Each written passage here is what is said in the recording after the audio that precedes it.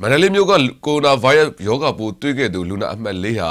ပိုးမတွေ့ကြောင်းအဖြေထွက်ပြီး facility quarantine ဆက်လက်နေခဲ့ကကျမကြီးကောင်းမွန်တဲ့အတွက်ဧပြီလ22ရက်နေ့မှာနေအိမ်ကိုပြန်ခွင့်ပေးလိုက်ပြီးဖြစ်တယ်လို့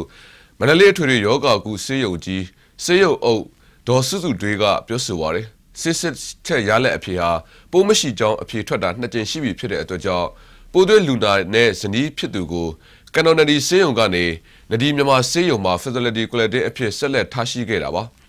ဆေးရုံအုပ်ဒေါ်စုစုတွေကတော့သူ့ကိုဒီကနေ့မှာပဲအိမ်ပြန်ခိုင်းလိုက်ပါပြီ home quarantine အနေနဲ့တပတ်အိမ်မှာနေခိုင်းထားတယ်လို့ပြောဆိုပါတယ်တပတ်တစ်ခါလာပြဖို့လည်းပြောဆိုထားတယ်လို့ဆိုပါတယ်သူဟာမြန်မာလူမျိုးအမေရိကန်နိုင်ငံသားဖြစ်ပြီးမန္တလေးမြို့မြရည်နန္ဒာတန်ဖိုးနဲ့အိမ်ယာတိုက်ခန်းမှာနေထိုင်ပြီးမလ26ရက်နေ့ကသူ့မှာကိုရိုနာဗိုင်းရပ်ရောဂါပိုးတွေ့ရှိခဲ့တာဖြစ်ပါတယ်ခင်ဗျာ